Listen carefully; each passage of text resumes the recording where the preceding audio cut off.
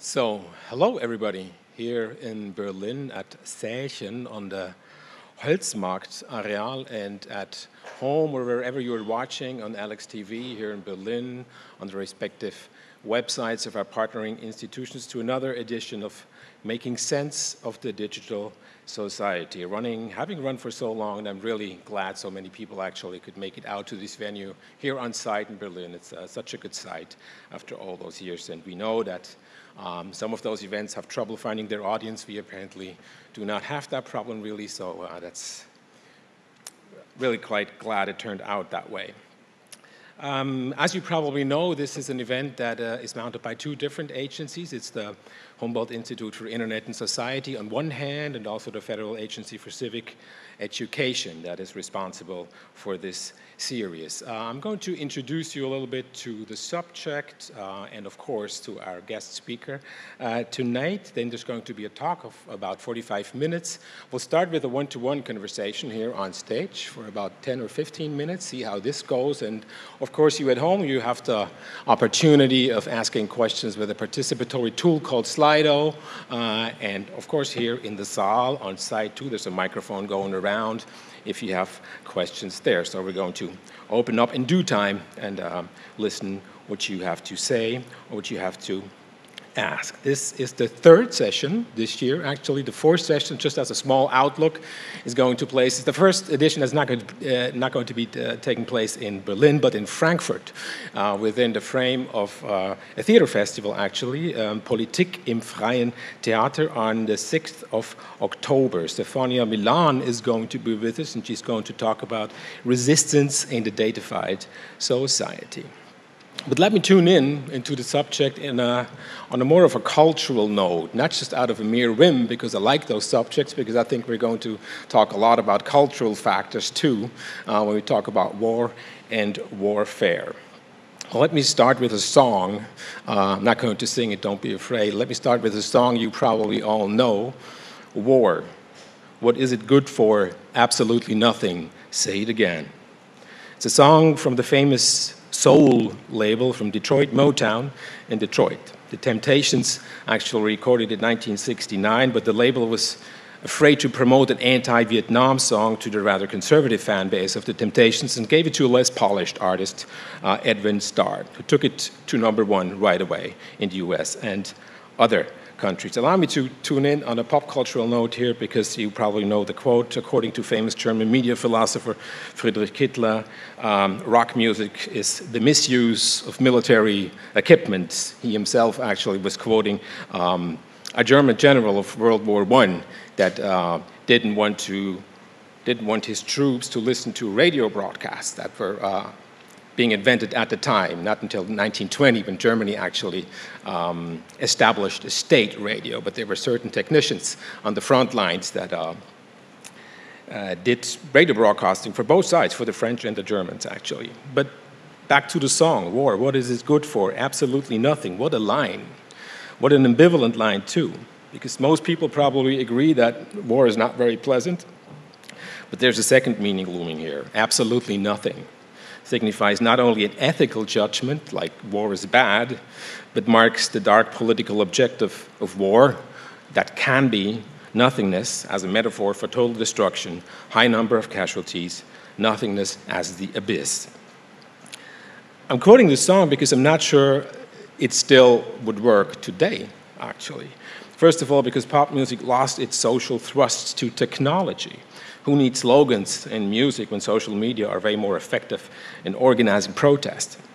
The second reason why we do not hear a lot of protest music against war probably has to do with the popular conceptions of warfare many of us have today. And this is getting closer to what we're going to hear tonight by our guest. The Vietnam War was the first, at least in parts, televised war that communicated the images of death to any TV set near you. What one in Germany we often call the Second Gulf War, the first, of course, uh, having been the Iran Iraq War, or Operation Desert Storm, it was just only one uh, part of this war, actually. um, somehow initiated a shift of popular imagery. Radar images from within fighter planes, guided missiles with precise engines, so we were told, a seemingly easy ground invasion of Kuwait after the clean air battle by the coalition led by the United States. There are many computer games that are staged around the Second Gulf War, actually, um, probably for this very reason that technology changed war completely, or so many believed. But what kind of war is this now, raging so close to home? The closer the conflict, or war, let's call it war, the fuzzier our knowledge about its technology, or rather the various technologies involved regular, irregular, hybrid, cyber, conventional, and so forth. Tonight's lecture will shed some light right here, not only when it comes to the Russian invasion of Ukraine, but generally to our shifting notions of warfare, what warfare actually is, has become, was, and so forth. So, our guest tonight, he was a soldier in the Canadian Army, as he just told me before uh, uh, his lecture. He studied then uh, in Glasgow and is now teaching at King's College in London. He's coming all the way from London to our um, series is Professor of War in the Modern World, it's called, at King's College. He's written widely on the effect of information technology on war and warfare in recent times. Many of these ideas you can find in his 2017 book, Carnage and Connectivity landmarks in the decline of conventional military power. His main interest at present is in the astonishing size, range, and design ingenuity of contemporary fortifications. These reflections will be published next year in his upcoming book, The Guarded Age.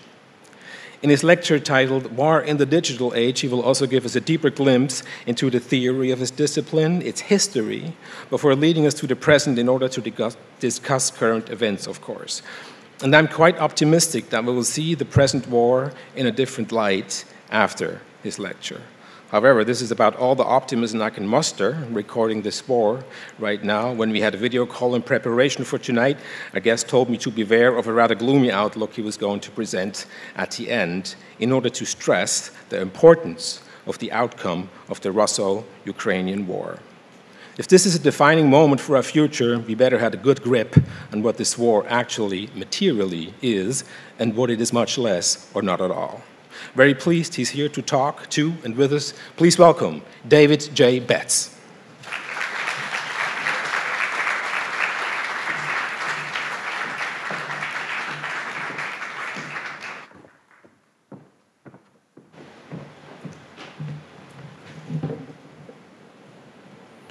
Thank you for your, uh, your um, introduction. Was very kind, and for the and for the uh, invitation to be here, which was uh, very flattering. I used to think that war was good for lots of things, uh, and I've changed my mind over over time. As you get older and you study a thing for a long time, I'm not so sure it really is good for uh, much at all. But it does exist, and it remains uh, very interesting. Or, I, and I think, I mean, it must obviously be interesting because there's a lot of people uh, in the room. And I think it's important for us to figure, figure out or to understand as well uh, uh as we're able for uh, obvious reasons. I'm going to talk mostly about, uh, I'm mostly going to focus on society, and mo much, much more so on society than on the technology of weapons and the like. If people want to talk about guns and missiles and weapon systems and the like, I'm very happy to indulge in, in, in, uh, the, in the uh, discussion which, uh, with, which follows. So what you'll hear is about, about a third is uh, theory of warfare, essentially. A third is going to be on, on history, and a third is going to be on, on the contemporary scene uh, for what it's worth, how I see it. At the end of the opening scene of Stanley Kubrick's uh, film 2001 A Space Odyssey, there's a two minute sequence that is uh, set to the music of uh, Richard Strauss. Uh, Strauss's Also Sprach Zarathustra, in which you see two groups of prehumans in a battle. And at the end of it, uh, one of our distant hominid ancestors, having just smashed in the skull of his enemy, with an animal thigh bone, triumphantly hurls this uh, newfound weapon up into the air, where through the magic of cin cinema it transforms into an orbiting spaceship. Many of you will have seen uh, and recognize uh, this scene. It's a, I think that that is a masterpiece of grand historical narrative, completely without words. I think it says a few things about war and about humans that are quite useful as a starting point for this uh, lecture. Basically, war goes back a long way. As long as we can see in history, war is there. We can presume it's uh, there in, in prehistory also. Secondly, in its nature, war doesn't change very much. It was, it's still fundamentally about, it, it is still fundamentally in, instrumental violence. Uh, it's still essentially about skull breaking. Thirdly, the ways and means of war the way in which, which is what we mean by the word warfare, the conduct of war, that of course changes constantly as we go through, as we go through history. Warfare at any given time in history is, is shaped by the dominant societal assemblage in all of its intertwined aspects. There are cultural, political, economic, and technological drivers uh, for that. I put technological at the end because, frankly, I think that the technological is probably the least, the least of it, or it's not the most important as it is uh, often assumed to be. So, in this lecture, I want to focus on warfare as uh, the dependent variable. And my main premise is that warfare changes constantly, like a chameleon, because of larger societal changes. When it comes down to it, humans are simply very imaginative at fighting. We're relentless and ingenious at exploiting every possible way of killing our enemies and breaking their things, causing pain, essentially. 10,000 years ago, we hurled rocks at each other because that was that because in, that was the extent of the combat potential that existed in a Neolithic society. Now we throw rockets at each other because the technological wherewithal of modern society is so much, is so much uh, greater. Now, it is widely supposed also that in the last generation or two, depending on where you start it, ours has become a postmodern information society or digital society, if, if you will. There are various ways of naming it. And if that is the case, then what should we should ask are the paradigm, paradigmatic weapons and techniques of warfare uh, coming into being now. That's what I'm going to try to talk about. And I really have three main points. I'll give you the bottom line up front. The first is that at the level of a whole societal confrontation, confrontation the character of information age warfare is dominated by the weaponization of ideas, something which, at which the West is at a surprising disadvantage because of the critical tunneling out of its myth power over the last generation or two, the tunneling out of its cultural myths. Secondly, at the level of physical combat, there's a surprising shift away from maneuver warfare towards a much more positional form of warfare that I would describe as network enabled attrition.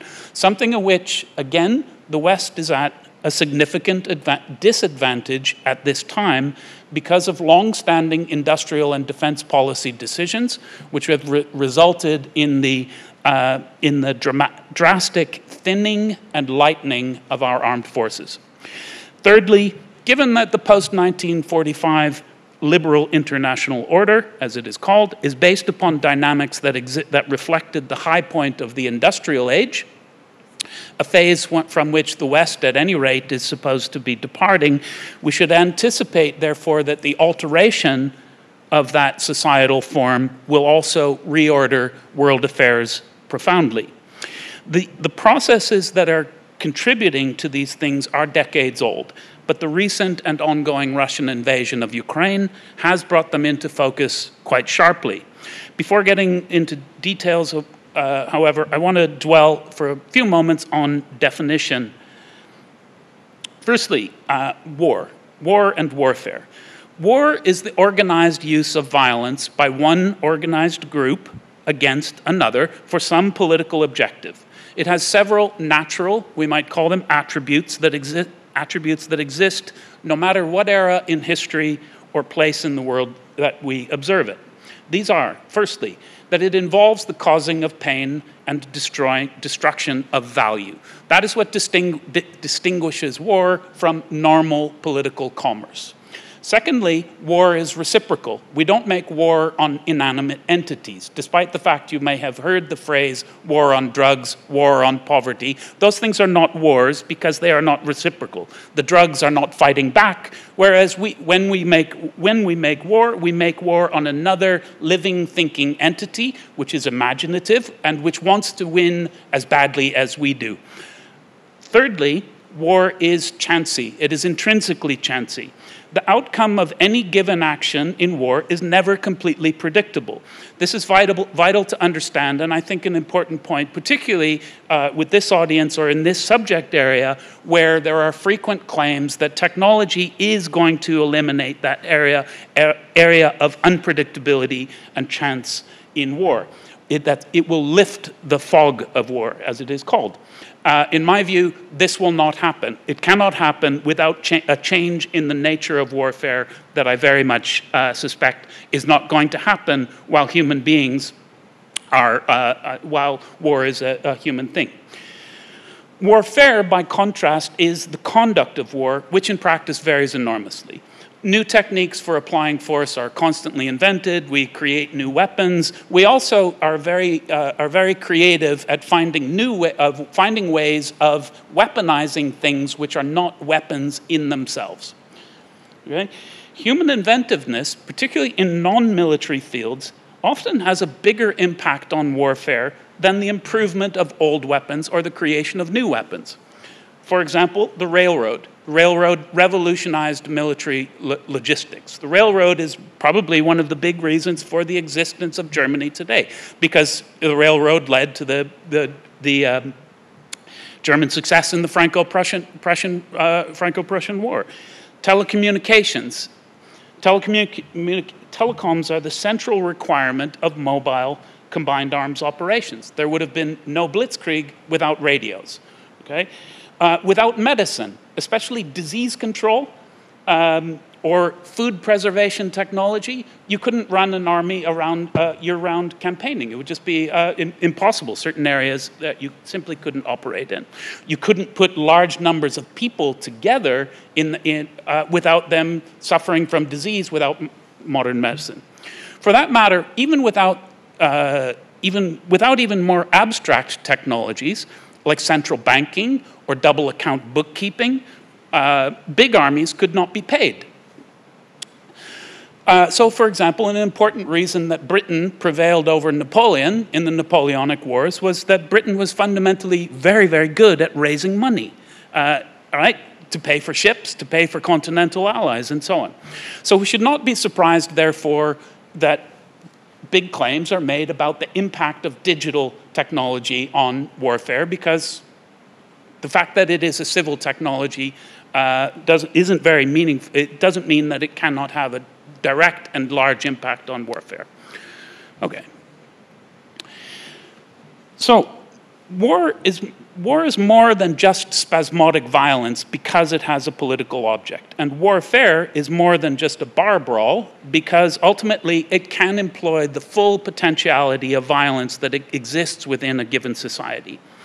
A good rule of thumb for understanding the way in which societies make war uh, is to say that societies make war in the same way they make wealth, right? So whatever, in, in this case, the war, think of the wars of agrarian societies tend to have distinctively rural qualities to them. The campaigns conform with the growing season because you can't take men out of the fields, or, or, there's a very great cost to a society of taking men out of the fields during harvest, for example. Uh, weapons tend to re resemble agricultural instruments, you know, it's pointy or sharp things on the end of long poles.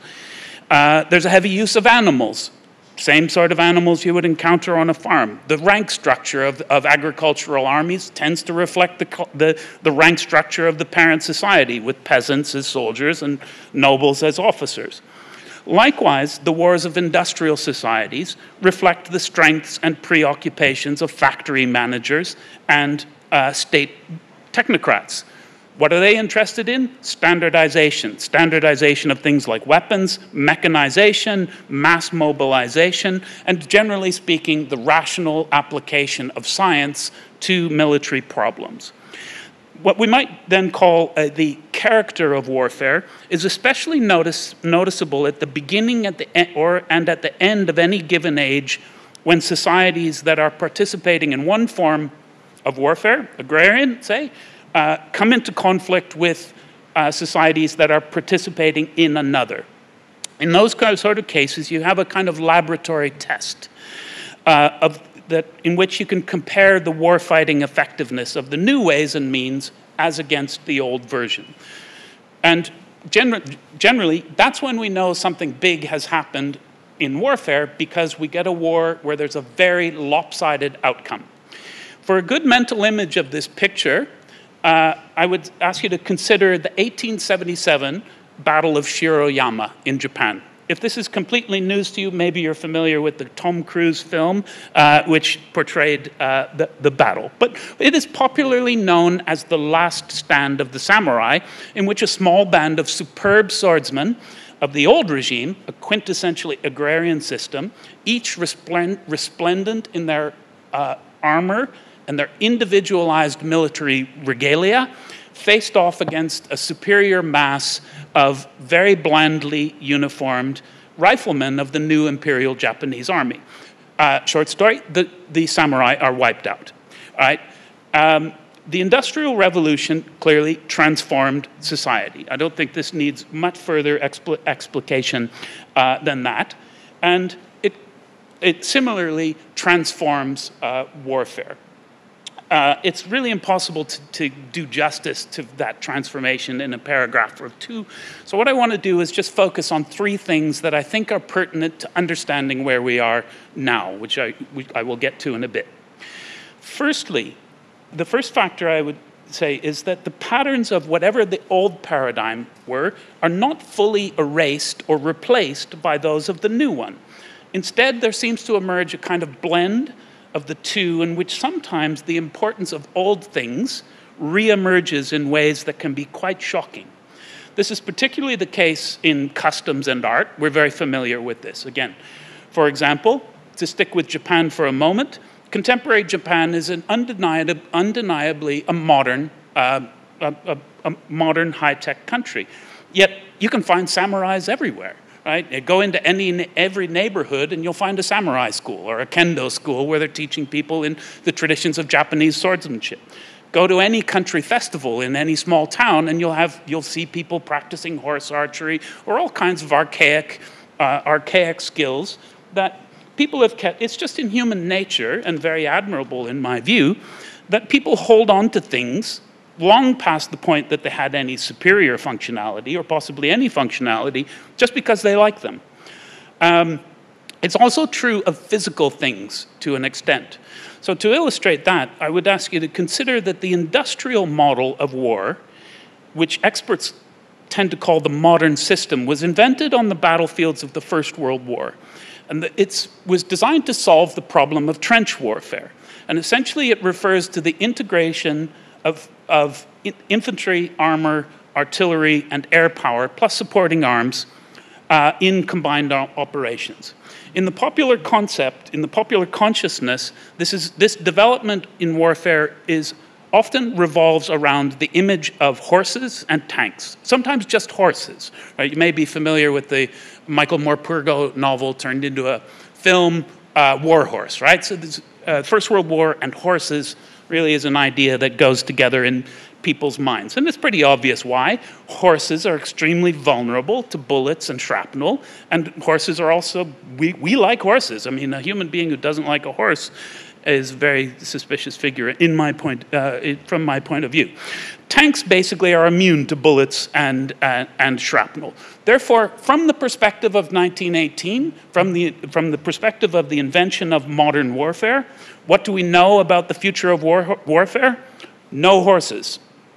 Except when you look at the details, you realize things like the, the British Imperial Camel Corps, okay, not horses, but four legged creatures uh, that you ride on, was very, was very important for the policing of, of, uh, of, vast tracts of British Africa all the way through the interwar period. The same uh, British Imperial Camel Corps played a very useful role in the Abyssinian campaign of 1940 41. The German army of the Second World War often argued, be, argued to be the army that first perfected mobile operations. Its logistics system was based on uh, wagons and horses right through to the end of the war, right through to 1945. The Soviet army deployed dozens of cavalry divisions uh, throughout the war, and late in it, even organized corps sized cavalry form formations, so big cavalry units. Bottom line is that horses were very useful on the Eastern Front for lots of reasons, which is why Germany recruited uh, two, Cossack, two Ukrainian Cossack divisions uh, during, uh, during the Second World War, which were used extensively in counter, counter-partisan warfare.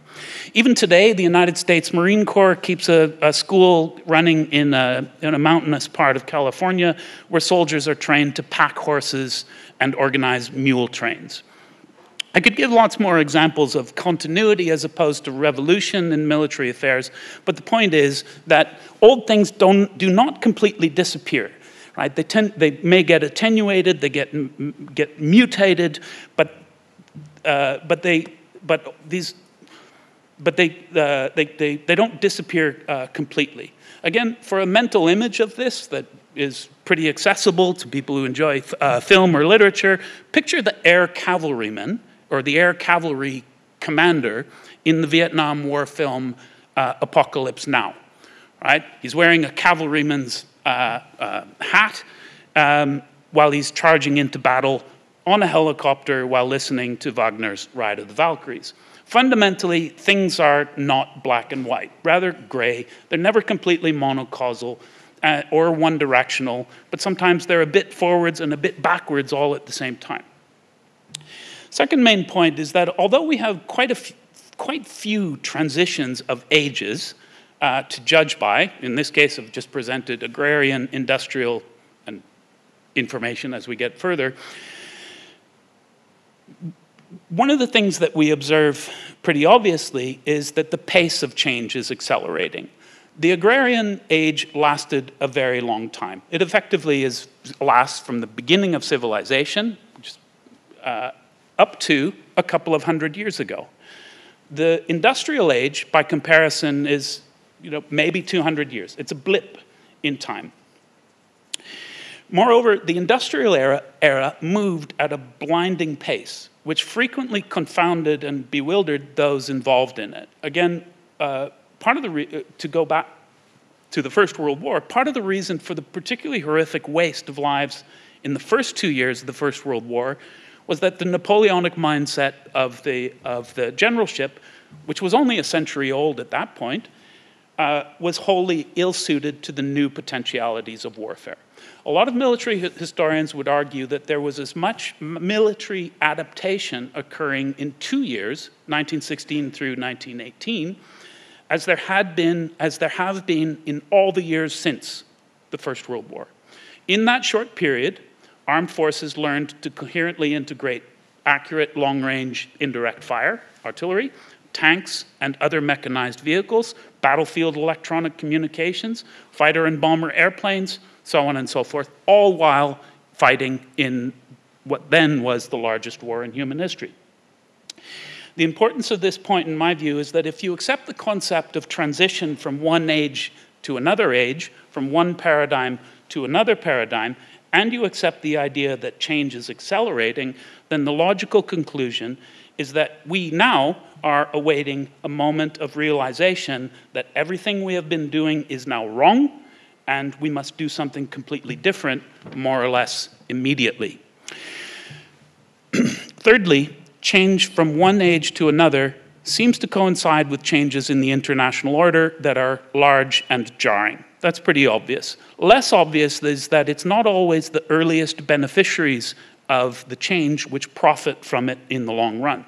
For example, the Industrial Revolution powered the rise of the West, more specifically the European powers, in part because they were able to exercise military power in ways that the rest of the world simply could not match. But at the same time, it also led to the world wars that drastically weakened the European global powers and created two extra European superpowers in the form of the USA and the USSR. So we're coming close now to the present. And if I've dwelled a bit long on, on the past here, it's just that I think that's the best way, I think, to get towards some understanding of today's apparent paradoxes, if we may call them that. With re respect to the last point uh, I raised, I believe the important thing to understand is that even great powers get blown away by the tides of history. It happened to the European empires, it happened to the USSR not so long ago, and I think it is happening to the, Amer to the American hegemony, which we call the liberal international order, right now. Um, it's a matter of debate when you, when you start the information age. Um, I think with this audience and in the interest of moving along in, in time, I won't dwell very long on, on this point. Uh, most of you will be familiar uh, with a lot of the literature to which I, I might refer. Suffice to say that uh, from my point of view, the information age didn't begin yesterday. It doesn't begin with the invention of the microchip. It doesn't, invent, it doesn't begin with the uh, incorporation of Google or, uh, or Amazon or, or, or what, ha what have you. It's somewhere further back in history. I am 53 years old, and I would consider personally that I've never lived in a non-networked, uh, in a non-network uh, uh, networked society, in a non-networked age. Uh, and people have been, you know, scholars, uh, much, smart, much smarter than I am, have been writing about the dawning of the information age for at least a half century. In short, the information age has been around for a while, and so I think we can safely draw a few conclusions uh, about it. Sticking to the subject of warfare, we can clearly observe that equipped with modern military force, the European powers of the 19th century quickly conquered up and gobbled, or quickly conquered and gobbled up the territories of the extra-European wars, governing other peoples, so it was argued, for their own good. Uh, for about 100 years, there was a comfortable alignment of two basic ideas. One, a belief that progress was served by European ideas governing everything, basically, and the military muscle to make that happen. Then the same powers turned on each other, mobilizing the whole industrial might of Western civilization into great uh, wars that ended up with most of this continent uh, razed and a good number of the old empires uh, wiped out. My point here is simply that coming first to a change in the potentiality of warfare is not necessarily an, an indicator of success in the long term. More narrowly framing the discussion to recent technologies, we may ask more specifically what happens to warfare when digital computing and high speed, uh, high density communications and microelectronics are applied to it? I think a starting point for the, to an answer to that question would be an understanding of the general context. To that end, it is said that the qualities of the information age are said to be something like the following that it has a character, that these characteristics a high degree of intangibility of value in the larger economy. That is say, if you've got knowledge industries, right, what are they doing? They are creating wealth not by making things per se, but by creating ideas which may lead to products, physical products, often made elsewhere or they may simply remain as ideas. They don't turn into physical products because they're perfectly saleable as ideas financial services, entertainment, so on. Secondly, there is a massive increase in the portability of information, uh, which practically everyone can now share in volumes and at speed and with a reach that would have astonished the most powerful governments just a generation ago. Uh, and a fact which is the main reason why it is now so difficult to keep secrets. Uh, governments uh, really struggle with uh, keeping secret, secrets, as does everybody, uh, frankly, because people are just so enthusiastic about sharing uh, their, their stuff. Thirdly, there's a dramatic leap in the scalability of certain types of in, in inventions, particularly ideas. Uh, the ideas no noted above, which can go from fringe to mainstream very, very quickly. Uh, right, we're all familiar with the concept of virality. That's essentially what I'm talking about. Changes in the military sphere have followed similar patterns and drawn on the same sorts of, of language. You, you may have heard this old syllogism that knowledge is power. Uh, that's a, a, phrase credited originally to uh, Francis Bacon, but un undoubtedly a truism that human beings have always recognized. It seemed to be massively affirmed by digital technologies like advanced communications, satellite communication particularly, GPS navigation, very powerful sensors, and certain types of precision attack weapons. Uh, it's easy to see that for a general to be able to see his enemy's forces before they could see his, to know in real time the whereabouts of everything that was meaningful on the battlefield, and to be able to strike accurately uh, would be a gigantic advantage, right? That would be like being uh, Zeus on Mount Olympus. You were practically guaranteed to win, uh, win that sort of uh, conflict. Ironically, the first military theorists to see this development coming were in the Soviet general staff, not in the West. And it occurred to the to, to, the Soviets because they were so acutely aware of the way in which the Soviet civilian economy was lagging behind the West in microelectronics and computing. So they were looking at their own weaknesses and projecting out the meaning of that in terms of their enemy, right? War is reciprocal. That, that is why they looked at it in that way. And they, when they looked at it that way, they feared that this was a development that will, would allow the West to fight a new sort of warfare in which armies could be much smaller but have less mass in military parlance, while generating as much or more actual combat power. And their fear was that this would counterbalance the material preponderance of heavy Soviet military forces in ways that they couldn't match. The 1990 1991 Gulf War, in which an American led coalition decisively defeated the Iraqi forces occupying Kuwait, and violently uh, expelled them at the cost of a very few coalition casualties, appeared to prove this concept. In some ways, that war became uh, a, a, bit of a watershed, some, a, a bit like the First World War, in fact, not in scale, but in terms of the way that it was thought to signal the shape of future warfare. Although the West arrived at it belatedly, it soon adopted this idea that what had occurred was a, a, new digital revolution in military affairs. And the gist of that idea was that high technology was going to enable relatively small and light Western armies to fight wars against powers that were not participating in the revolution, in the new age of warfare, cheaply, decisively, and quickly.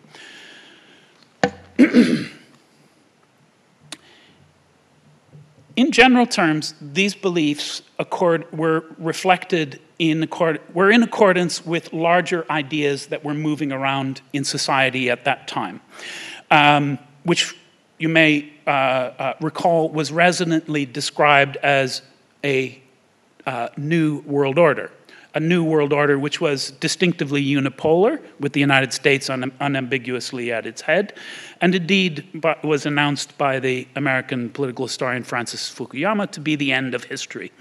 Uh, the idea being that no matter what else we would fight wars over after that, it wouldn't be constitutional order or um, or economic models because liberal democratic capitalism had triumphed and that was the end of the story.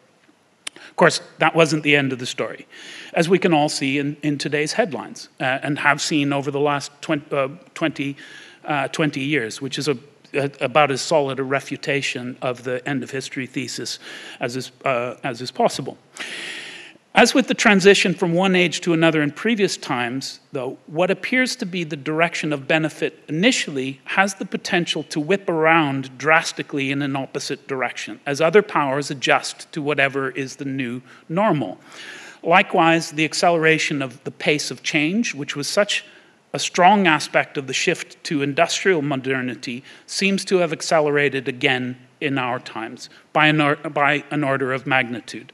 To my to my mind, the best example of this is the fact that the, is the effective deindustrialization of the West, which is a process uh, that has essentially occurred in little more than one generation.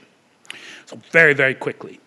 Okay, so for the remainder of the lecture, I'm just going to focus on three interconnected aspects of the still unfolding story of the military and strategic impact of the information age.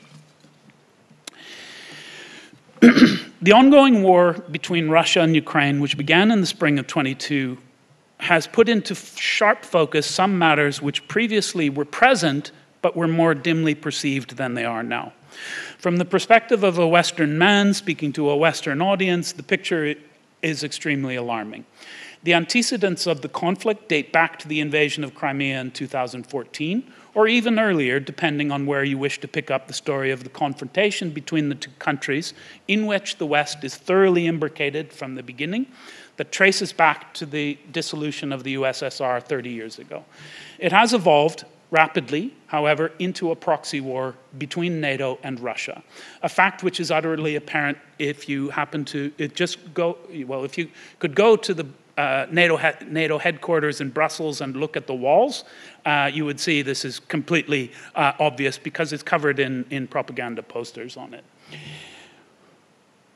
What is worrying from my perspective is A, there is no chance for Western victory let alone victory for Ukraine, which is already lost no matter what else happens. Well, for as long as the war continues, there's a worsening probability of escalation. The emerging Eurasian compact between China and Russia, which the West has motivated, is undoubtedly the most globally strategically consequential thing to have happened since the end of the Cold War, and possibly more than the end of the Cold War. Anyway, it is a very big deal the rise of China, which has historically been weaker than it ought to be for well over a century, is, I think, a reasonably historically natural process. The alignment of Russia with China is, was in no way inevitable, but that is the current uh, likelihood, and that is such a massive uh, on goal, as the British would say, uh, from a Western perspective.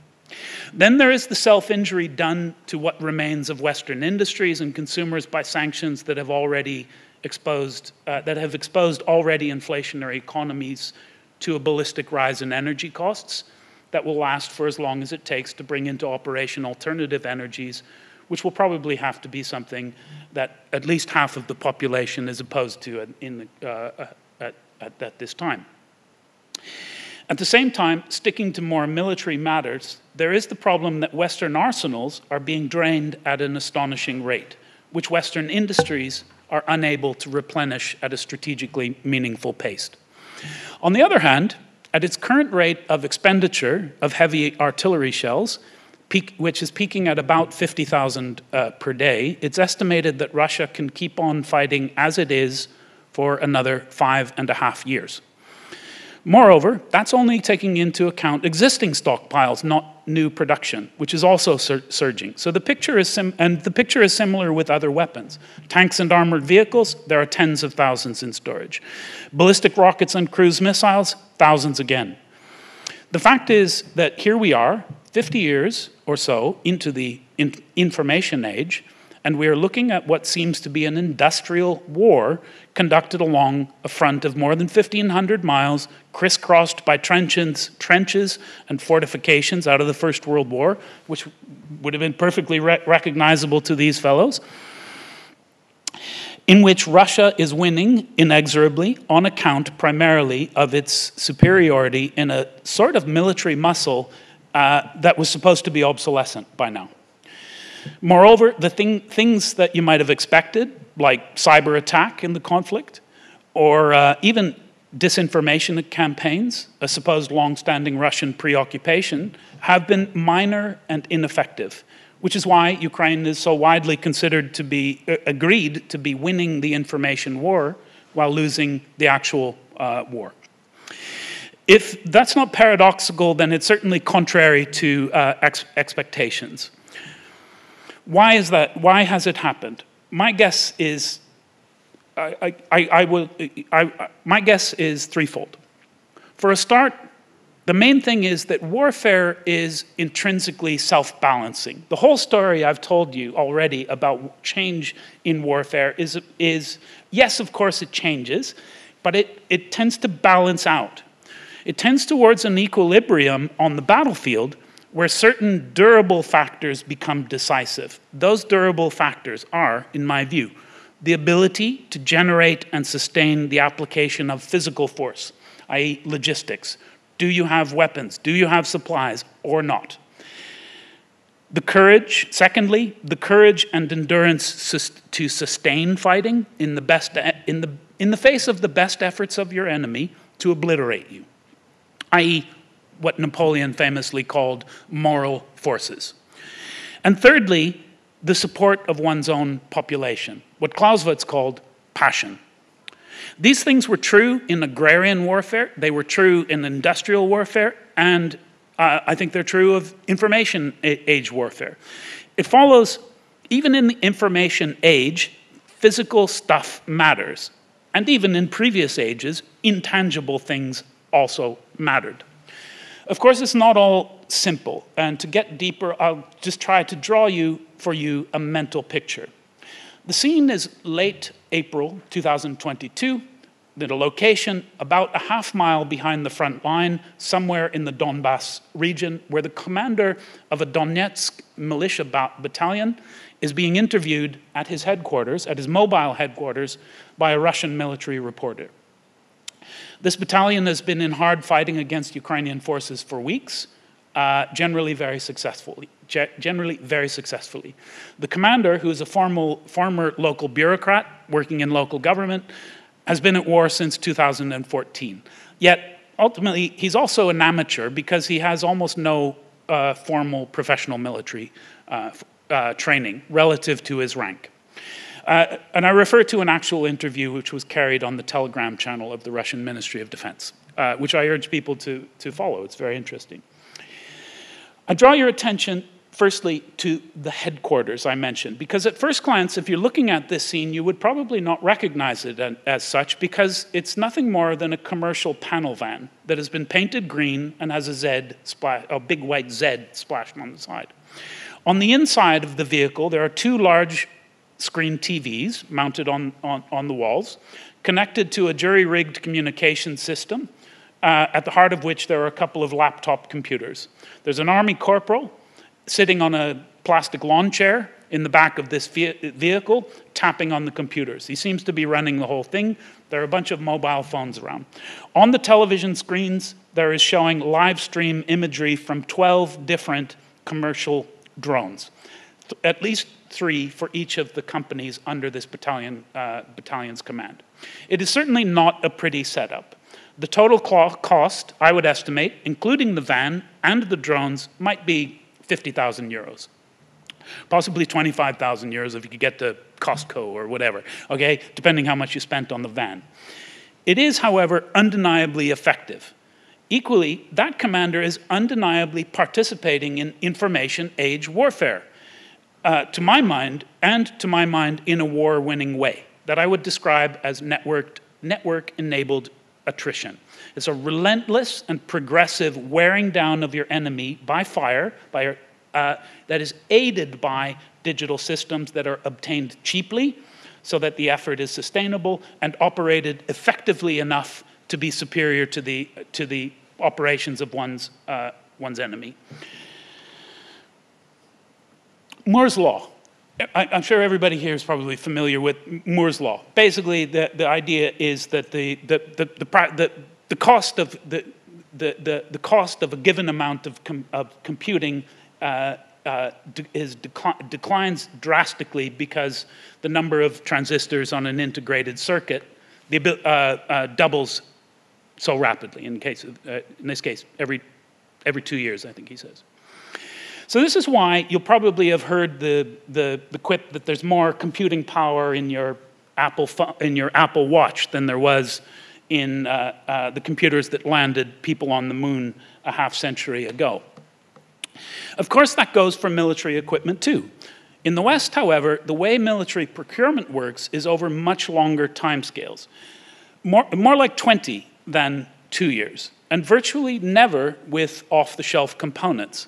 As a result, the cost of a Don Donetsk style headquarters for the German army or for the British army uh, would probably be in the millions, not 50,000 euros, but uh, 5 million, 10 million uh, euros.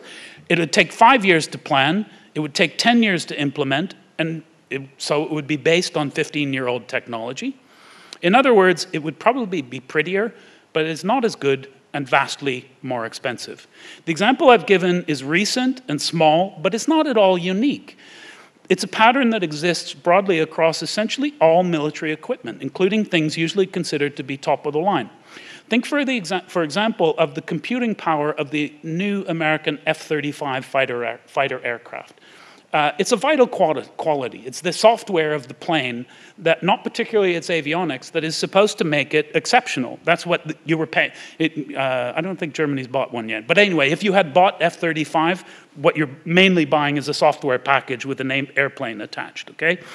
The newest Tesla electric motor car, motor car possesses 100 times more uh, processing capability than the F-35 fraction of the cost. The fact is that military technology has not been leading civilian technology in this sphere at any rate for decades now, but our defense procurement patterns still suggest that they do.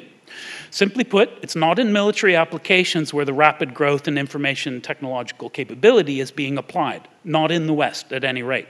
It is elsewhere, however, most obviously in Russia now, even if it's in a jury rigged fashion, uh, which is enabling them to catch up very rapidly in capability at a, and at a fraction of the cost. It reminds me, finally, of the soldiers and officers of the First World War who contrived the modern system of warfare warfare out of a cobbled together assemblage of random parts, agricultural machinery that they bolted uh, iron plates to, which is effectively what a tank was at the time, um, balsa wood and canvas airplanes that they figured out how to bolt machine guns to, right? Um, okay, the result then was not also not pretty, but it did work, uh, and it defined warfare for the, for the century to come. Necessity is the mother of, of invention, uh, so they say.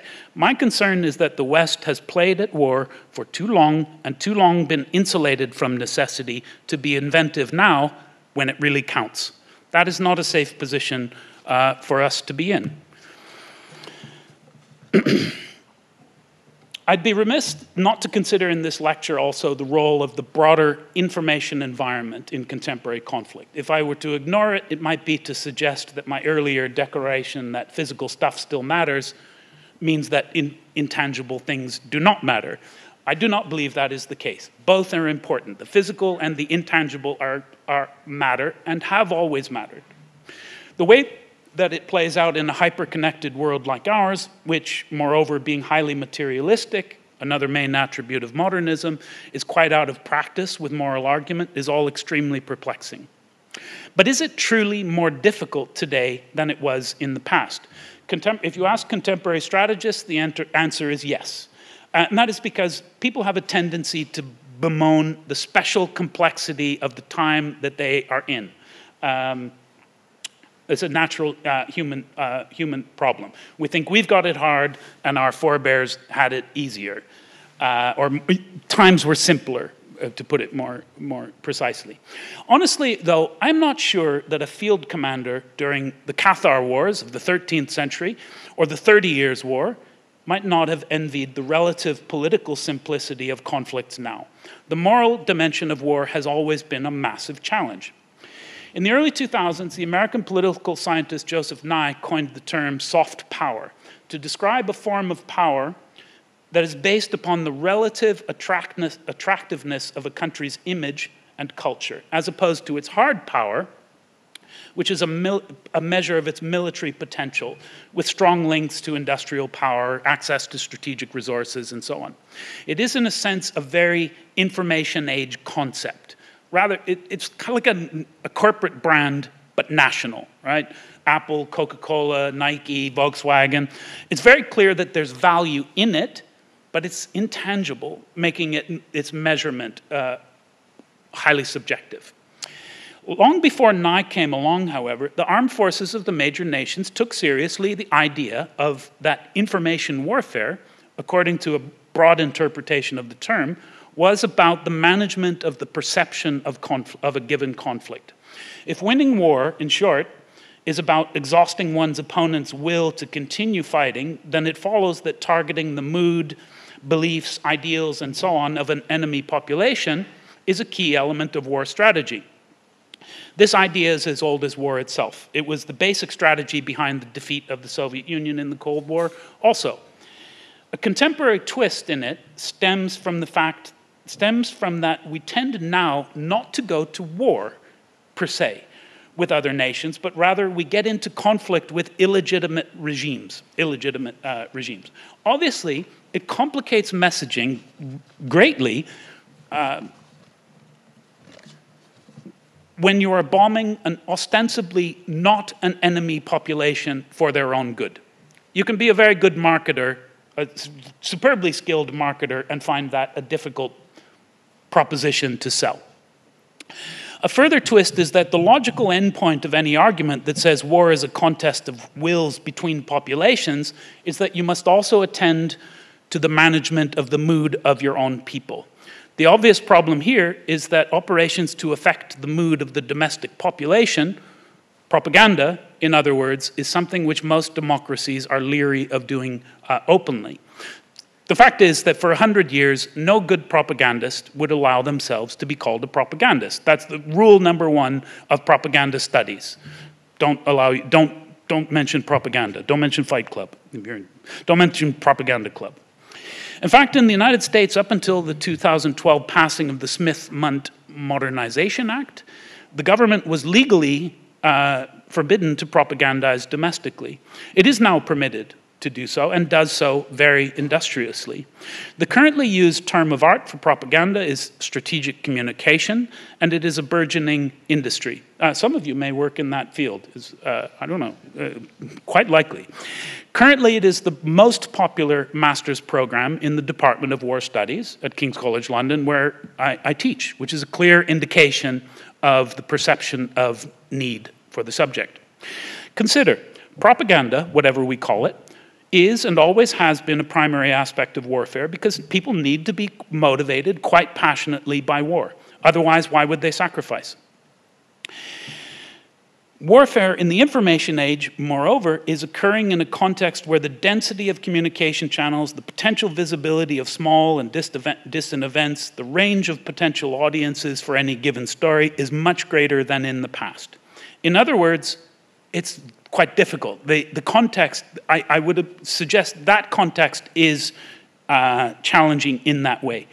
But more fundamentally, it's challenging in that there is a, there is a great need for myth, for, or meta narrative. If you are at war and you are engaging with a, a, a population's passion, which is an emotion after all, uh, you need to use, uh, you need to have access to myth. Um, if we equate the information age and postmodernism, as seems reasonable considering we tend to equate industrial, the industrial age and modernism, it is a problem that postmodernists define hostility, uh, postmodernists define postmodernism as uh, one that is uh, as intrinsically hostile to meta narrative or myth. The, the internet, moreover, has a tendency to fragment audiences rather than unify them. It may sound strange to say this, but I mean this very deliberately.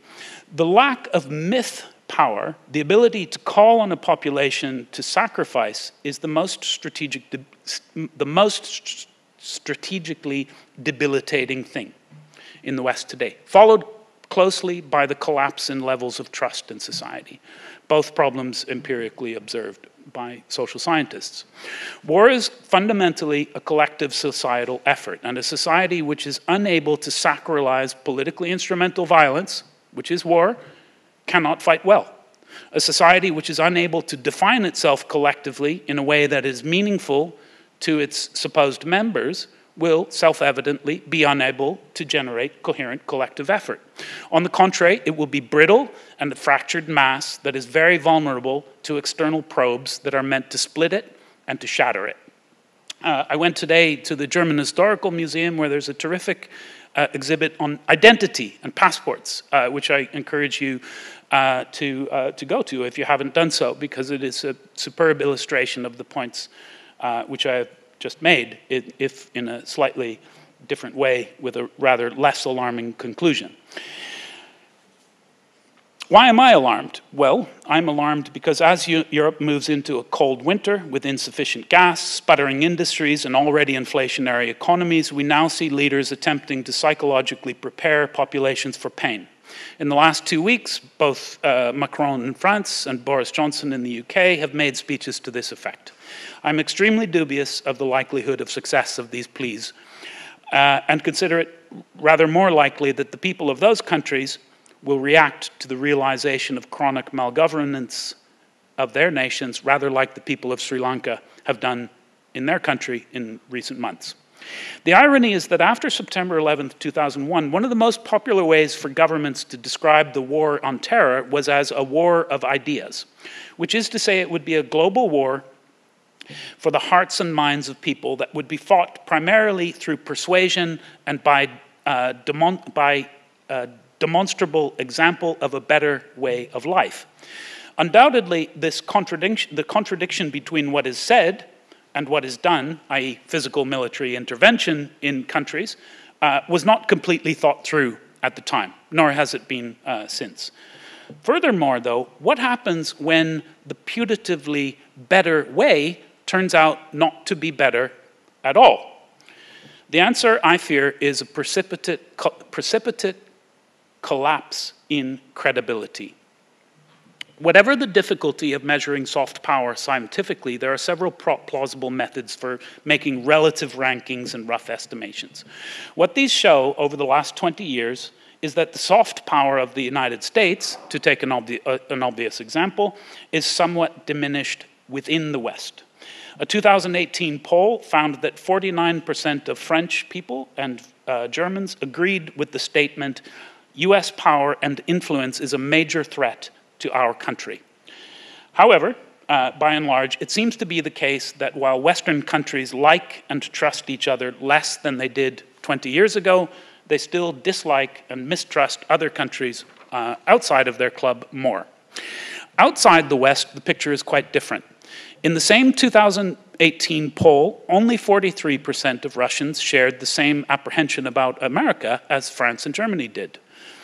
Uh, that number, I would guess, is probably now doubled if we take surveys for, about Putin's domestic satisfaction ratings uh, credibly, currently over 80% as a reasonable proxy. Attitudes in China are hardly less disagreeable from a Western perspective, something which we can glean from the increasingly belligerent tone of Chinese foreign ministry statements in, in recent months. Both Russia and China, moreover, are working hard and with a good deal of success to win over the rest of the world to their point of view. In the case of the Middle East, notably Syria, but also astonishingly Saudi Arabia, as well as Africa, the degree of receptiveness to Russian and Chinese perspective is quite surprising. The bottom line is that the West, in my view, is that the Western proposition to the world is badly discredited, not by its ideals per se. People like freedom. Nobody does not like freedom and prosperity. But by the perception that the West, now deeply embroiled in its own internal culture war, no longer obviously epitomizes those things. That is a collapse in credibility. That's what I mean by a credibility collapse. The manner of the American withdrawal from Af Afghanistan in the summer of 2021 appeared to confirm the worst about Western cre credibility and also to further poison relationships within the West. It was not just the chaotic nature of the scenes at the Kabul airport, which could easily have turned into a repeat of the French disaster at Dien Bien Phu in 1954. It is likely the only reason that was avoided was a massive payoff to the Taliban, which ultimately was almost as eager as the White House to get American troops out. An even more wounding problem was that after 20 years in Afghanistan, alongside the United States, Britain, for example, was not even informed that, it was a, that the withdrawal was about to occur. In the UK at the time, uh, there was a minor political scandal after the withdrawal on account of the fact that the foreign minister, as well as his deputy and a bunch of other uh, senior government officials were all out of the country on holiday. Uh, and the reason for that was simply that none of them had any idea that the Biden administration had decided to pull out, had decided to pull the plug, that they were leaving immediately, uh, because they didn't tell them. Uh, they learned the event uh, of the event more or less like you did by seeing it uh, on the news. Furthermore, coming to the end now, since the end of the Cold War, all Western wars have been sub-strategic in nature. By, by sub-strategic, I mean they occurred not because survival was at stake, uh, was at stake, nor even always that there was any uh, vital national interest in, in play, but out of a perception on the part of politicians that they had to respond to a public urge that something must be done about something awful happening in the world. And people's apprehension, of course, because we are so connected, people are connected in a way that they see these distant events and feel strongly about them. So politicians are responding to an urge that something must be done. in other words, many wars have been fought in the last generation as essentially as set pieces in domestic political theater, not as aspects of, of overarching international strategy. Something must be done is the call. It doesn't need to be particularly effective, and probably will not be, uh, but a gesture is required, and it has, and therefore, in the nature, it is in the na nature of gestures to be kept cheap. The politics of this are completely logical and I, I think completely defensible, defensible from a political point of view. The problem is that they're low, also low and dishonest, and over time, the repeated pattern of them eh, further erodes credibility, trust, and ultimately the perception of elite competence. The situation where we've now arrived, in my observation, has some of the elements of dramatic tra tragedy out of a combination of desire to do the right thing, at any rate to be seen to be doing the right thing, and to lash out after suffering a very surprising attack on September 11th, the West has drained out its own capital of credibility and trust. The two qualities, unfortunately, which are the most vital in a war of ideas. Once again, uh, it is a very unsafe uh, situation.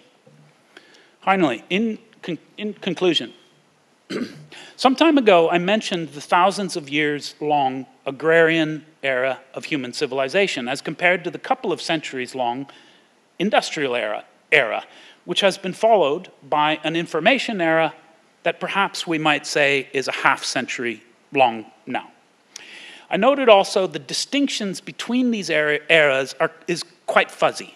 Uh, things that were important in previous ages often continue to be important in the following ones, or they seemingly shift out of interest for a while, only to come back at a later point, producing what my colleague David Edgerton has called a shock of the old.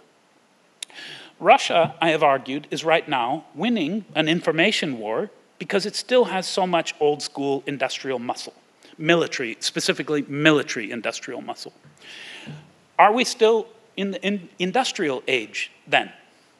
For that matter, one of the biggest concerns of governments outside of the West about the coming winter is not energy, but food supply. Collectively, Ukraine and Russia grow most of the grain that feeds North Africa and the Middle East, particularly Egypt. If that supply is imperiled, then what we've been calling the migrant crisis up until now will look like nothing in comparison. So, are we even out of the agricultural era? Then. Uh, indulge me for a moment in an, in an anecdote. Recently, I picked up my teenage daughter from her work in the local library, where she'd just done her first full eight hour shift. She's 17. She was hungry and exhausted. Her immediate needs, therefore, were to get home, have something to eat, and go to bed. Take me home so I can eat and sleep. So far, so much in accordance with Maslow's famous hierarchy of needs which has physiological needs right at the base. As we drove off in the car, however, her first need was to connect her mobile phone to the Bluetooth system so that she can continue the podcast or whatever it is she'd been left listening to before she went to work. So, for the first two minutes of our drive home, we argued because I needed her to put her seatbelt on, which is a security need, right? Which she insisted she could not do before satisfying her psychological need to be connected. I think this il illustrates something useful, maybe, about the general topic that we've been discussing. The ways in which we seek to satisfy basic physiological needs is different from age to age. We are, after all, not pre-humans on the African savannah bashing each other's heads in uh, with animal thigh bones anymore. We do it differently but the needs themselves do not go away. Perhaps the order of priority that we give to some secondary psychological and self fulfillment needs uh, is different from one era to another. In some cases, we might even put certain sorts of self-fulfillment goals ahead of security ones to a degree. For certain, there's a palpable need uh, in people to be constantly connected to information, which is obvious why, you know, when people do this, do I have my keys, my phone, and my wallet? Uh, and if you don't, as I put my phone somewhere, you, a pang of nervousness and realizing that you don't have your phone on you. In short, last paragraph. On a macro scale, reality is also a sort of palimpsest in which ages are not replaced, but rather another layer is added over top of the pre-existing one. In the case of warfare, this is undoubtedly the case. The most powerful digital system is of little use if some commando has just stabbed its operator through the eyeball with a pointed stick. For that matter, if you want to shut down the critical infrastructure of an enemy whom, with whom you are at, at war, openly at war, there are easier and more effective ways of doing it than with cyber attack. The big lesson in the long view, in my opinion, is against complacency.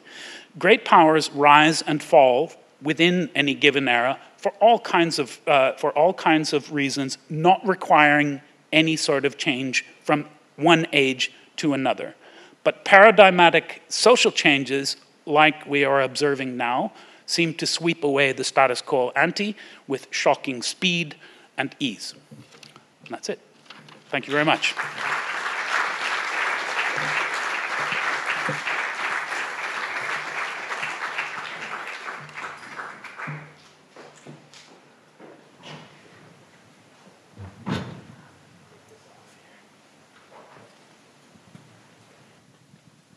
So thanks. Uh, hello, am I on?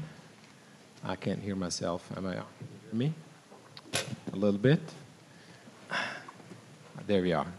Uh, thank you so much, David, for this very rich, very outspoken, and in some cases very controversial uh, talk. I'm looking forward to our conversation.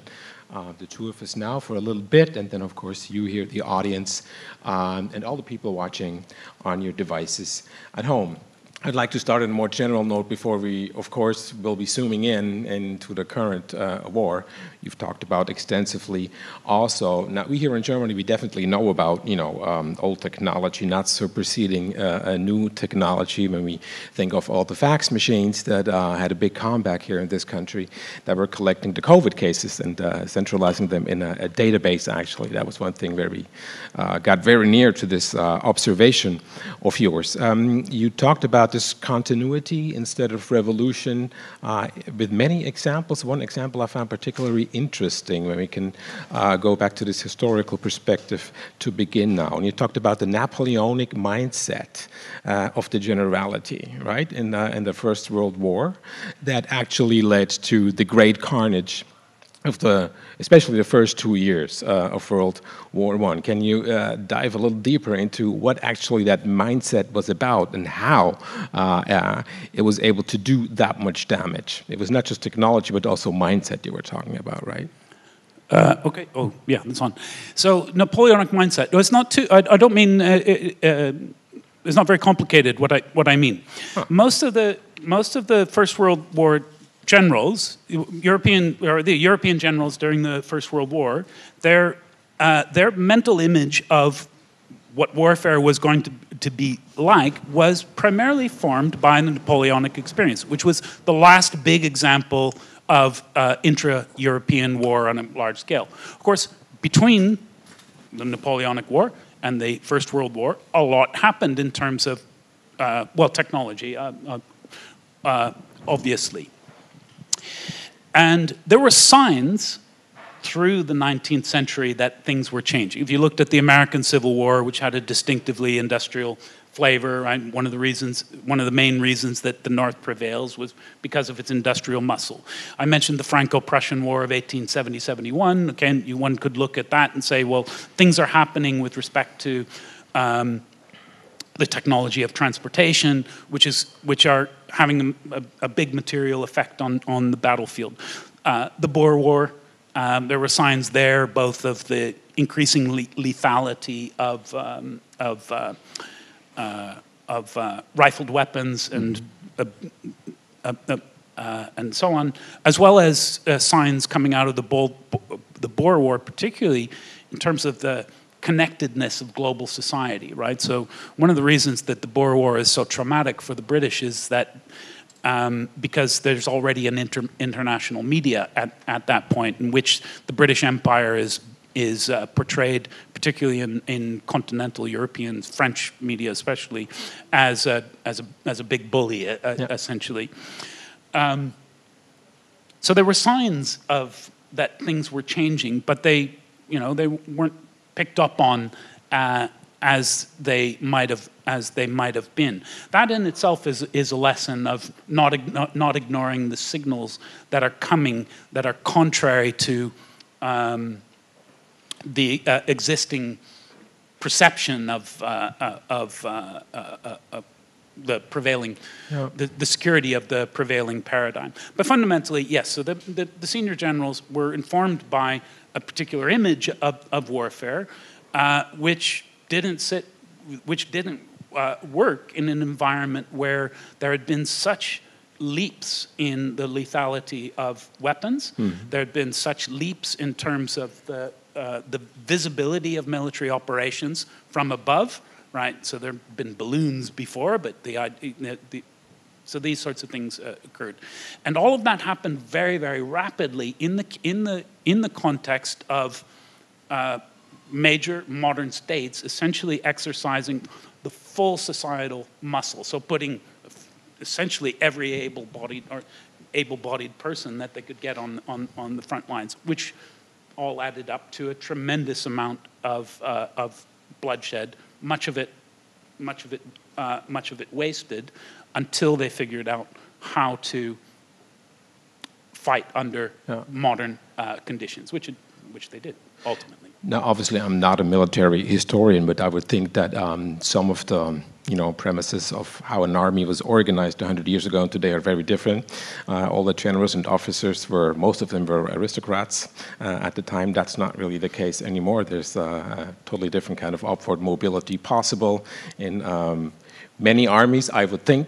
Uh, I hope this is safe to say like this. But yet, you are describing something that reminds me of this Napoleonic uh, example. When you uh, talked about the Donbass uh, example, right? About the network enabled attrition, relentless and progressive wearing down of one's enemy by fire, aided cheap digital systems. When you were mentioning the van, and concluding there uh, by saying military tech in the West, at least, is not leading but lagging. With the F 35 you mentioned, and you would say that this whole rig that they had there uh, behind the front line would cost 50,000 euros. It would cost about 5 million if it were the British Army. Uh, right now, why is that? Is it this is a, a similar clash of mindsets happening right in this situation? Or why would it not be possible for Ukraine, for a British Army, for NATO in the end? We don't know that. Uh, to do the same thing for the same amount of money?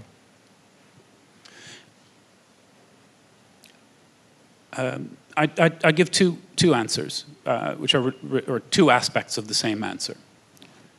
The first is that uh, the West has not fought a proper war uh, in well over a, a, generation. We fought wars of wars of choice, right? We fought uh, wars in which we had a huge material preponderance. Except perhaps for uh, the Kosovo War, uh, where the Serbs did have uh, the Serbs did have a relatively capable air, uh, air defense system. All of our wars have been fought in uh, in a context in which we had unchallenged air power, complete impunity in in in the sky.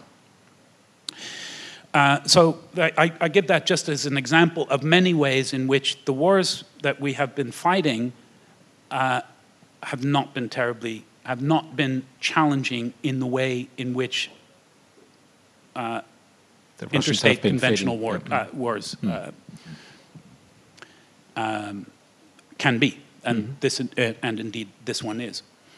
The second point I would raise, it just occurred to me now while you were uh, asking this question, I was thinking about class structure and, and the like.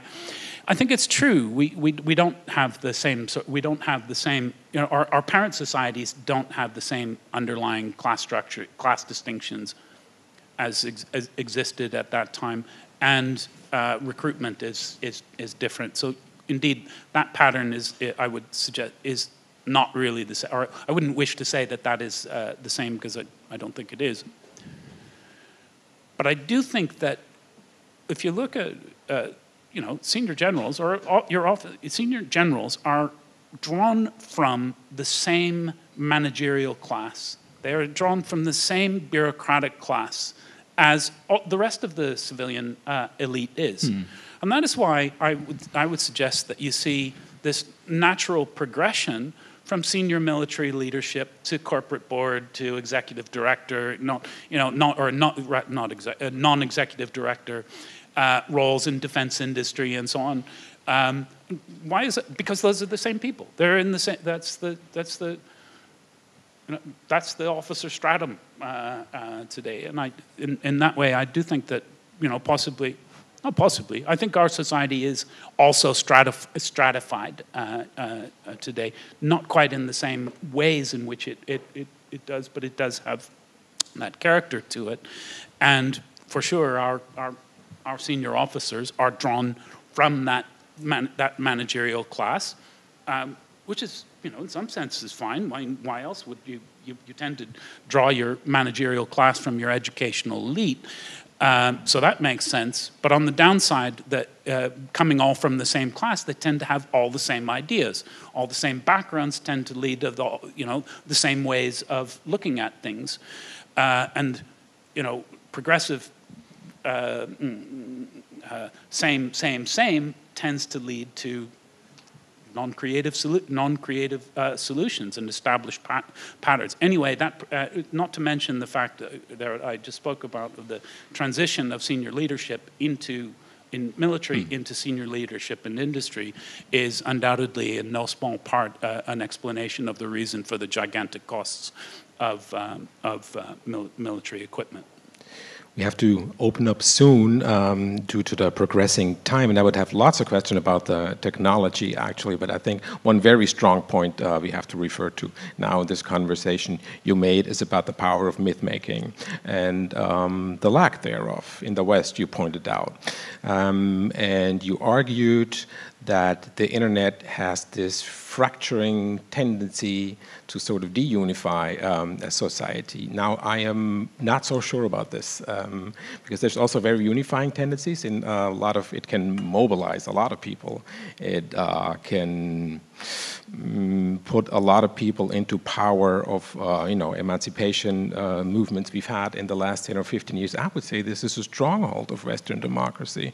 And many people in the East will probably say the same. At least many Ukrainians would say that this kind of liberty uh, would be one of the strongholds that actually in favor of Western democracy. Now you're saying no, uh, it's actually quite a threat to what we need in order to go to war? Or am I quoting you, or is this incorrect now? No, I don't about, think about we have to end our friendship over this, uh, this uh, because it's not a gigantic di uh, disagreement. I, I, I, believe, you know, as I said, a, a lot of the, I mean, a, I mean, all of this is very complicated, and there are elements of backwards and backwards and, and, and forward and forwards and contrary indicators across a lot of things. Uh, and I think the, the the invention of new media types, uh, the impact of that on, on, a, on society is, is interesting. Uh, and it tends, so, to, and part of the reason I, I said what I said about the internet is uh, from looking at the invention of, uh, print. So, print, when you look at the invention of print, what happens is, on the one hand, you do get a certain unifying effect you get a strong unifying effect within sciences, for example, because now once you start writing things down, and or sorry, not once you, once you start printing things, so that becomes the authoritative uh, authoritative version of something, that can then be shared around all sort of science. So you're not working off, you know, fragmentary bits. So there's a unifying effect going on within science and philosophy and all kinds of uh, all, all, kinds of uh, thinking at that level. At the same time, there's an enormously fragmenting effect at all other levels in society. What else occurs around that? That's when you get into the, the basically the wars of the, the, wars of the, ref, uh, the wars of the Ref Reformation. You get the pamphlet sure. wars. The pamphlet wars. The key is in the title. What is it? You know, right? You're having pamphlet wars because now people are able to produce uh, uh, pamphlets. So there's there is there is simultaneously some uh, in some sure. ways a, a um, unification and in in other ways fracturing. And I think that's probably the case in our, our in our society in our society uh, today.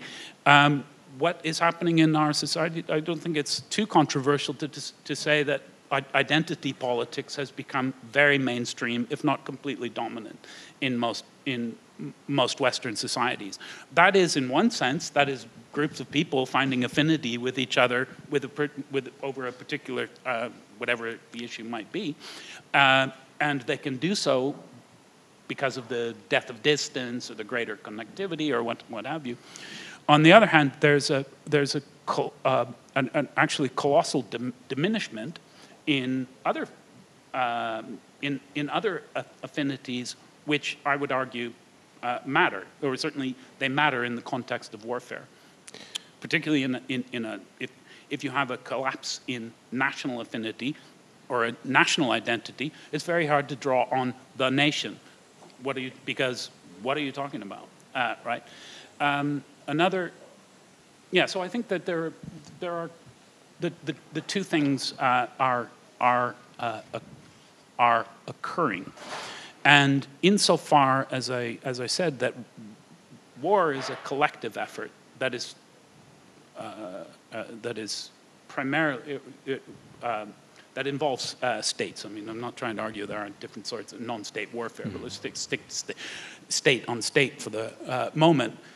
Not being able to call on uh, on national identity seriously compromises your nas- national power. And if you're looking for reasons, you know, why, why there is more endurance on one side than another, then I think that's a good one.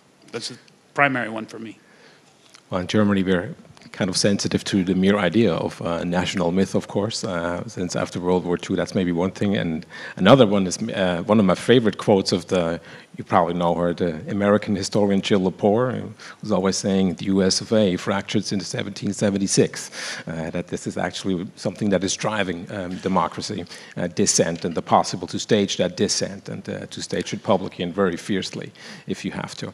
But, let the public actually not decide, but uh, delve deeper now and ask questions to uh, this aspect, many other aspects this wonderful lecture has covered by David. We'll start by the audience. You probably have to wait for the May microphone. Where is the microphone? It's coming right to you. Please wait for it because we're broadcasting here. Please. Thank you. Thank you, David, for your insights. Um, you really covered a very gloomy picture, right? We, the West is losing the material war, the West is losing the war of ideas, so it loses the social material paradigm war. Uh, and so, as a scholar of innovation entrepreneurship, I wondered whether it is partially uh, the material side could be partially because uh, the West is doing an industrial way of sourcing instead of an entrepreneurial way of sourcing, right? And it loses the social paradigmatic war because it's not creating unify, unity in diversity with regards to norms, values, and so on. But the European ideal could be a unifying norm uh, above maybe the nation state. So my question to you is, what do you advise then politicians? Uh, do you actually advise them? Do they listen to you? But what do you advise them to do then to actually kind of shift that and win this uh, paradigmatic war uh, against Russia? Uh, I'm, I'm, I'm, I'm smiling because uh, Toby started to say that I was controversial, but I don't think I'd been controversial. So what I'm about to say will be controversial. You're not going to win. There is, I, I, would advise them to drop the idea of winning this war. You have to end it now. Uh, like I noticed, uh, I, I, read today that uh, that's what I meant by controversial. Electricity costs in Germany have increased by 720 percent in the last six. 720 percent in six months.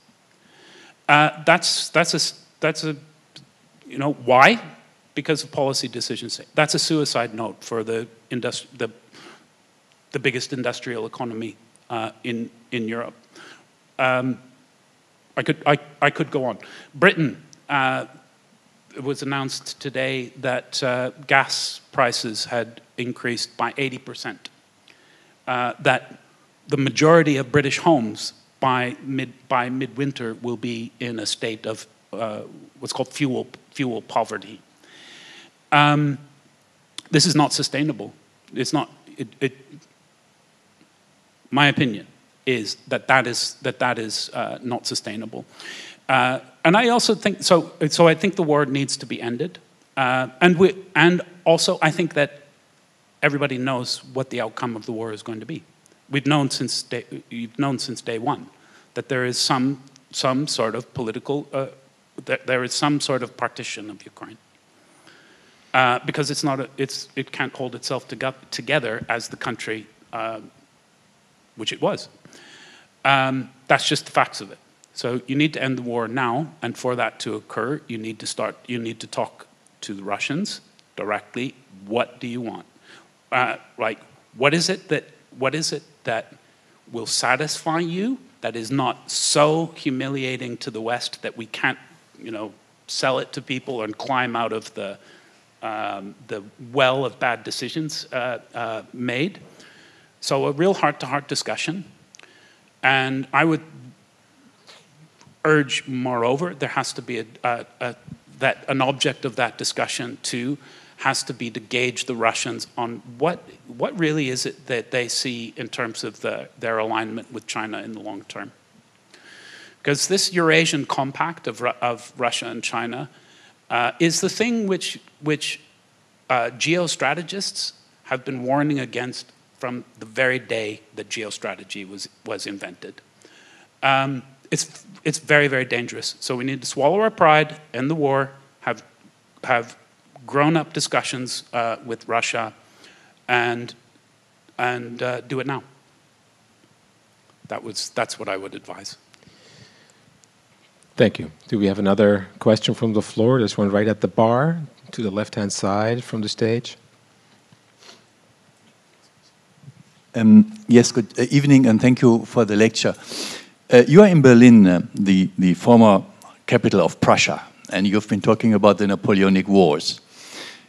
I think there were two lessons for Prussia from the Napoleonic Wars. The first one was you have to be friends with Russia only with uh, an, an, alliance with Russia, you, the, the, German state can kind of survive with, uh, in, in, the, in, the, in the concert of European nations. But the second one was, um, after the blockade, the, the, the British blockade or the, con the continental blockade, that the war had um, kind of boosted innovation, industrialization.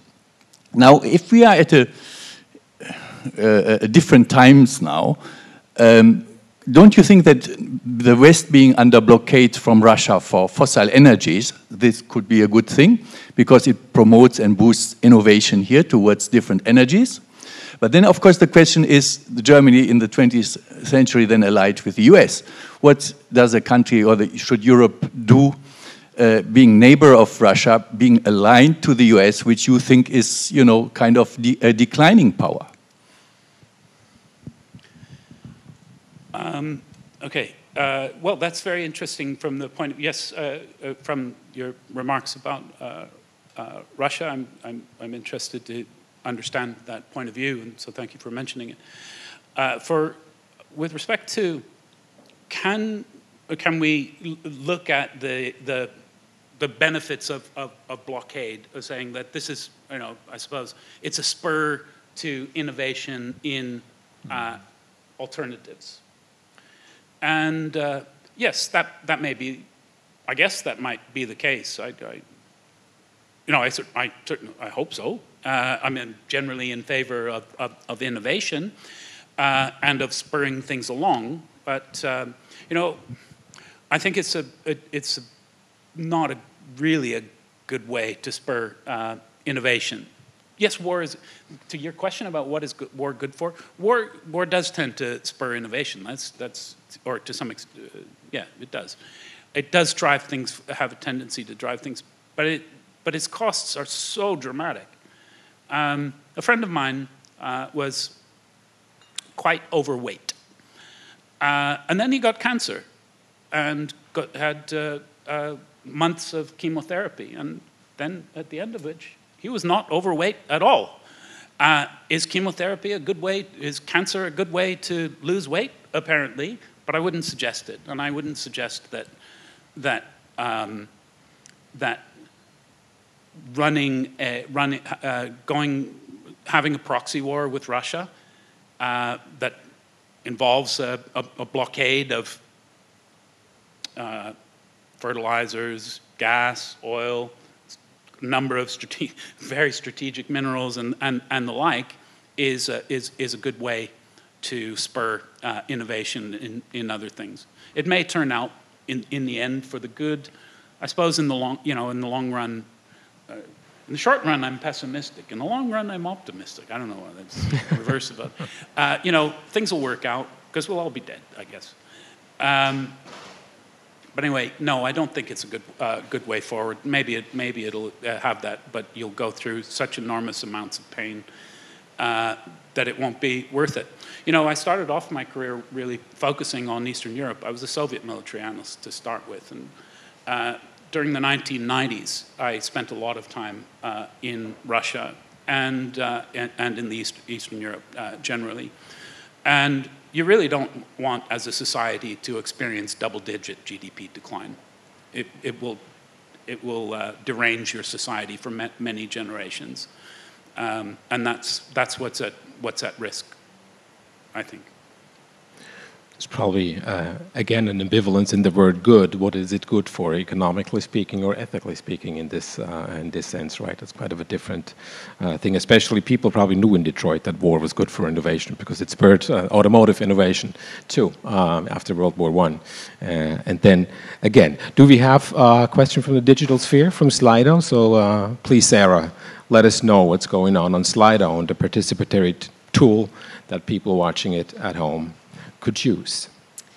Um, you have said during your presentation, war is a waste of humans for now. Is that a reference to artificial intelligence? Uh, yes, yes, it was. Uh, so, um, I, di I, I, no, I, I didn't talk about uh, artificial intelligence. I may well have. I said I was not going to talk too much about uh, technology, but that was exactly what I was uh, getting at. And you're so the questioner is very uh, perceptive at, at, this. And the, the, the, thing was, I was saying that there are certain, uh, certain things about uh, aspects of war which are in its nature, its chances, chanciness, its reciprocality, uh, and uh, uh, the fact that it involves violence. And I think that those, so long as it is hum human beings doing, doing war, that is going to be the case. If it, when it is AI, in, when you throw AI into the mix, I think that it is possible uh, to, that all that would, that that would change. I mean, insofar as AI is not a human, uh, doesn't, doesn't, won't necessarily think as humans do, it is, I, I think it would be interesting, for example, if you had a general AI, that is to say, an AI which actually had feelings and ideas and its own internal monologue and its own sense of we don't have that.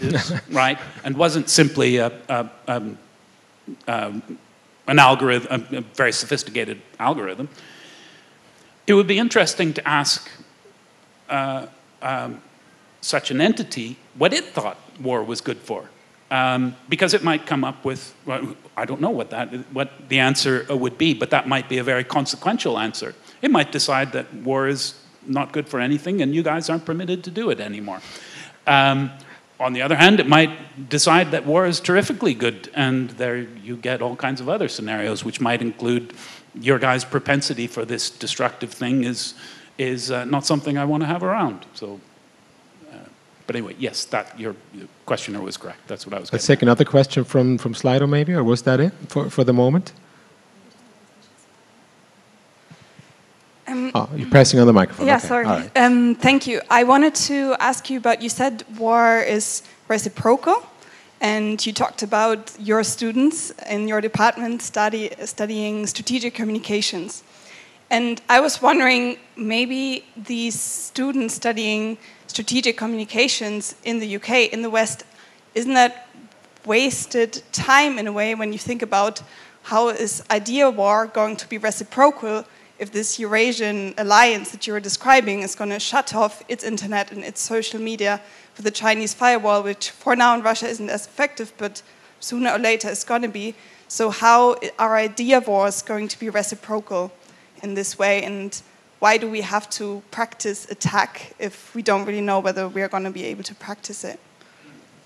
Okay. Uh, well, if I, I may, I, I, don't, I don't want to, you know, distress my colleagues or something, but it, it's a, it's an open information that that our strategic communications program is very popular with the Chinese, mm. um, right?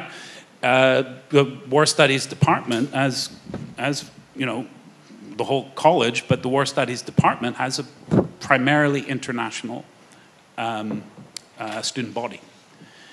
Um, so, you know, at, at, any given time, you know, you get, we, we will have, oh, I can't give you numbers at, at at, uh, off the top of my head, uh, nor even if I knew them, should I probably say them on uh, a microphone. But, it, you know, there are a lot of Chinese students who are interested in pursuing the study of strategic communications at King's College London Department of War Studies.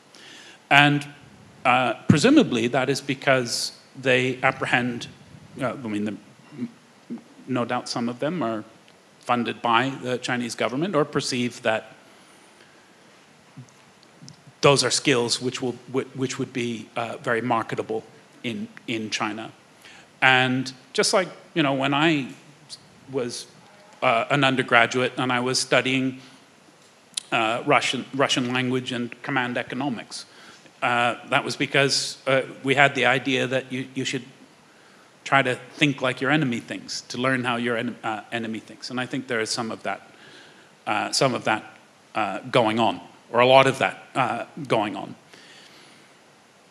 Um, I'm not sure that's an, an, an, answer to the question, but it is, it, it you know, a, a, a, further explanation of, I think, the, the, the, the fact that this is, this is a, an area of study that is regarded as integral to uh, contemporary conflict, not just in the West, but, uh, but, but broadly. Uh, you know, uh, other countries also see that this is something that they need to, um, that they, they need to um, be involved in. Uh, and no doubt they have their own national centers uh, working on this sort of thing. Thank you for this insight here, David. Once again, uh, can we take one more question from Slido, maybe, before slowly wrapping this up due to yes, the time? of course. Um, in the very beginning, you mentioned that your view of whether good reason for waging war exists has changed over the years. Could you elaborate shortly? That my personal view has changed over time? Um, yeah, whether good reasons uh, for waging war exist has have changed. Uh, okay. Well, uh, uh, well, from a personal point of view, uh, I, you know, and i have always been fascinated uh, by war, and, and, and still am fascinated uh, by it. And I started off, you know, but I've been studying it, thinking about it in one way or, or an, another for 35 years, and um, that, that's a lot of wars that uh, were have proved not to be useful. you know, fun, fundamentally, we we started the whole time that I have been in, involved in the academic study of, uh, of war, in the formal academic study of war. I'm not sitting in my, my room reading, uh, you know, war books uh, as an individual, uh, has been post Cold War. And during that period, there has been a relentless search for a sort of war that is decisive and cheap and easy. And of course, it's never materialized. What, has, what, has, what have we had instead? It is wars that are protracted, that are thankless, that are invertebrate. And uh, so it's just been my personal experience that, you know, wars hasn't been, or anyway, it, it hasn't been good for very much. We've really struggled. Uh, we have really struggled to make war uh, useful. and the reasons for that are, are, are, are complicated.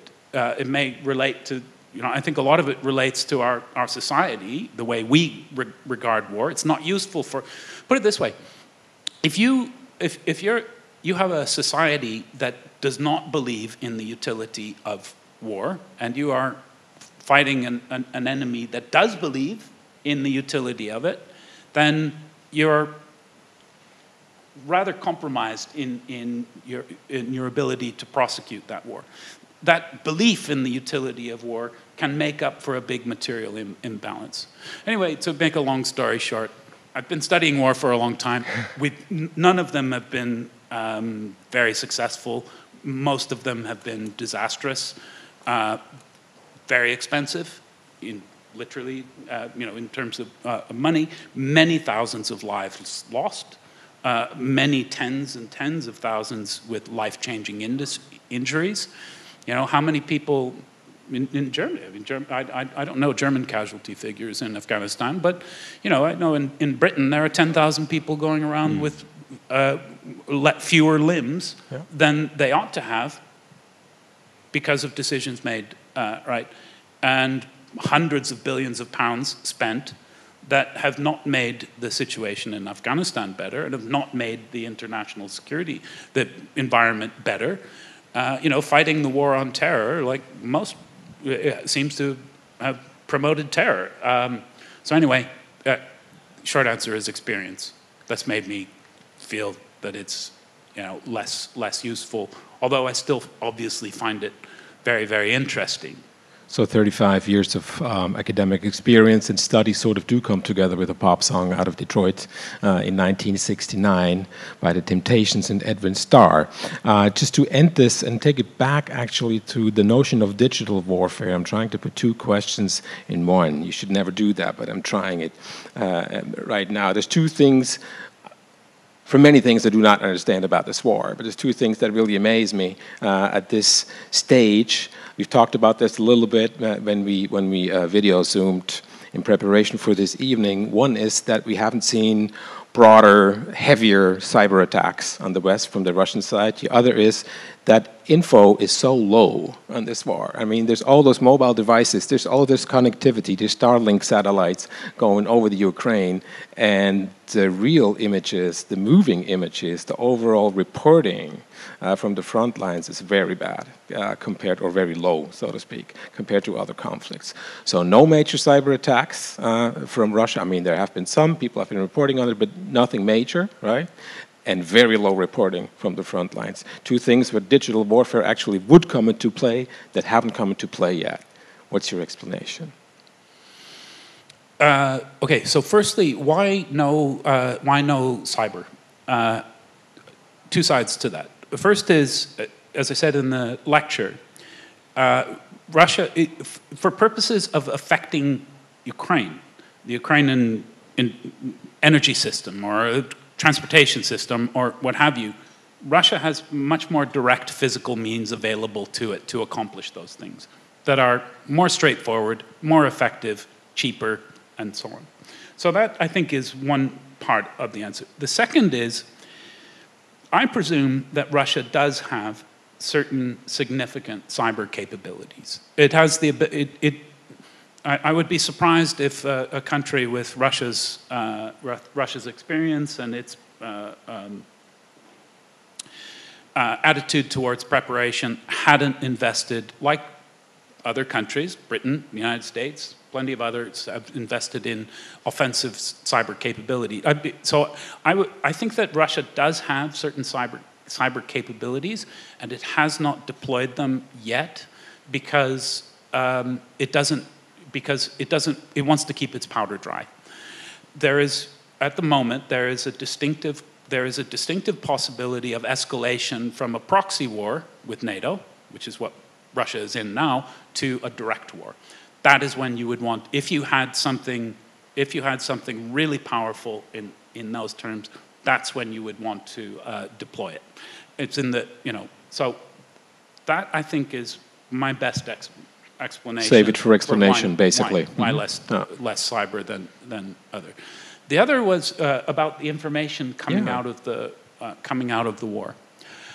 I think that the best thing that people can do to improve their understanding of this war and other wars is turn off the media. I'm sorry to journalists or media people in the room, but it's uh, just turn it off. There are other channels available to you, and uh, and um, what channels? I will mention specifically. Okay. Uh, I have not, and you'll either leave this room thinking, "My God, why did I listen to that guy?" or uh, think that this is a terrific idea. But I have not followed the media account of, of this war from the beginning. Of course, like I live in the same media environment as everyone else, and I can't help but, uh, you know, read the odd thing. But I'm not learning about what's happening out of out of the media. Certainly not off the off the BBC or the or, or the like. When the war began, I uh, be, I uh, joined Telegram, and I subscribed to four accounts the Ukrainian Ministry of Defense and the Russian Ministry of Defense, and a pro Ukrainian um, quasi independent account and a pro Russian quasi independent uh, account. And I've simply watched those four accounts uh, obsessively throughout the war. Uh, there's no lack of imagery and video coming out. You can see tons of it. I at this point, a, a, a ridiculously large number of hours looking at top-down, uh, you know, video of, of, of, this. But it's all, it's all a perspective, right? It's all from it's all propaganda, sort of and you have to, and so, you know, to the to the best of your ability, you have to take information from a range of sources. A binary conflict, looking at those at those channels, seemed to me. Uh, a, a, a reasonable uh, choice of range of, uh, of, of, uh, of, of, sources and follow them consistently and use your critical faculties. You know, you, you've got one saying one thing, you've got another saying something else, you've got partial imagery. That's, that's the best you can do. But unfortunately, I would not, it, I, I, I, say this uh, with, with uh, conviction that you need to disconnect from the media. Why? Uh, because it's, uh, it's the least valuable form of information. It's coming to you, uh, it's coming to you uh, processed in a way that is, that is not evident how it has been pro processed. If I'm going to eat a cake, I want to know how it's been baked. Okay? Uh, Telegram is not processed? by the foreign ministry of I, the. I'm, I'm, sure if you. Yeah, of course. Yeah, of, of, of, course. All, all those are perspectives, right? Those are those international those are, those accounts? those are four different perspectives. Two competing official perspectives and two competing partisan perspectives. Just accept that, that, that each of that all of those have that all of those have a perspective. Be, it would be ridiculous to form your views of the war on the basis of what the Russian Ministry of Defense sure. said alone. Sure. Um, I think it's equally, uh, but I think it's also problematic to form an image uh, of, of the war that does not incorporate what is coming out of the Russian Ministry of Defense alongside other, alongside other things. And you don't need, you don't need uh, the, the media to do that. You definitely don't need yeah, I wouldn't go further than that. Are those international accounts? Just to, uh, I mean, are they English speaking, some of them, or are they all Russian or and Ukrainian? So there are, there are uh, so those are, I, I, am following them both in their English versions, but okay. they, they both, so you, you can follow the Russian accounts. And uh, so the Russian Ministry of Defense has, a, has an English language Telegram yeah. channel. The Ukrainian Ministry of Defense has an English language Telegram channel for obvious reasons, because that's the, that's the language of the major international sure. audience which they're trying to, uh, trying to speak to. There are, uh, what I haven't done is subscribe to the Russian uh, language Ministry of Defense uh, channel, and that's frankly because my Russian is too rusty uh, to cope with the volume of, uh, of, of Russian reading uh, that that requires. Uh, but so all of those are, are, are English accounts. Available in English also. Okay. Yeah. yeah. Have to expand my family chat and incorporate other Telegram channels apparently in uh, to my mobile phone. I'm looking forward to this. Thank you so much uh, for this lecture once again, uh, David Betz. Um, we're going to see each other again. For those of you who want to, we're going to continue this series on the 6th of October in Frankfurt with um, Stefania Milan on the datafied uh, society, uh, subject we've been covered before, but from a different perspective now in October. Thank you very much for coming to us from all the way from London. David Betz, ladies and gentlemen, thank you for being with us.